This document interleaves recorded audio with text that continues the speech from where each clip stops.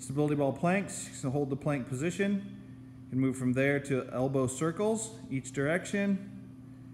And then from there to single leg lifts, each leg. Your stated number are the number of reps for each leg and the number of circles for each side.